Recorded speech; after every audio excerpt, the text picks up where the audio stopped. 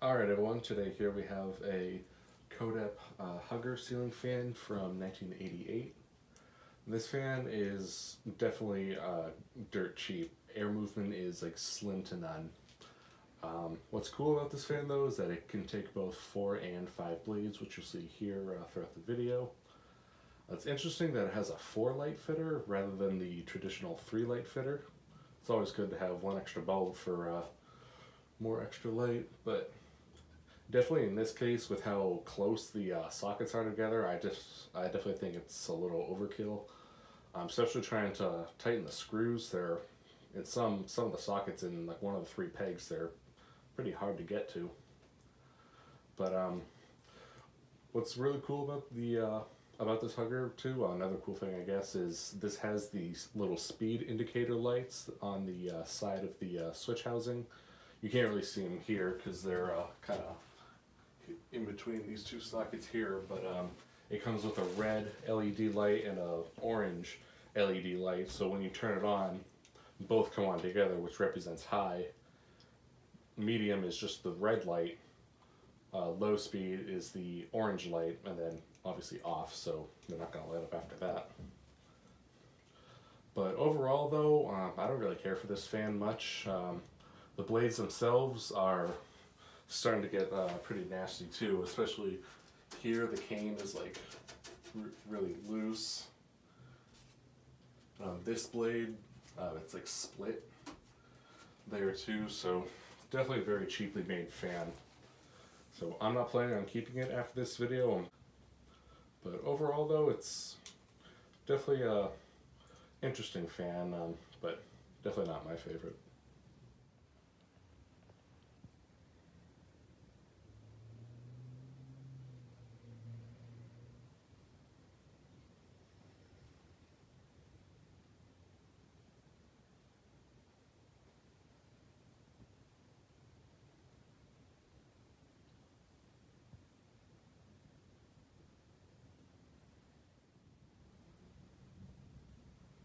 So now we'll go ahead and give it a demo.